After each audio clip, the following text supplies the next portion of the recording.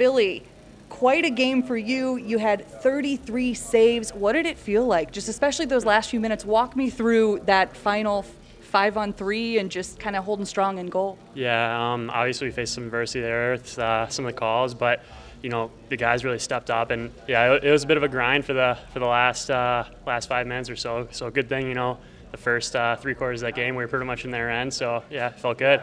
And you've been here, what, just over a month, about a month? It seems like you're very comfortable with the team. How has Toledo welcomed you into the fold? Yeah, it's been awesome. The guys are great. Like day one, I felt felt at home, and uh, you know, being able to jump in right away and, and get some games that, that helps build some of the chemistry with the guys. So yeah, they, they've been super welcoming. Yeah, we have a great group.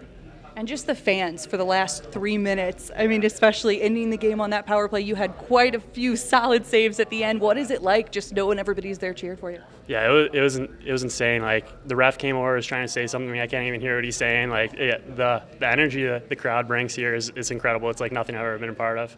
And you can see some of your saves there. You had quite a few holding it out with your skate. Yeah. What is it? I mean, how do you train for that? Yeah, a lot a lot of stretching, I guess.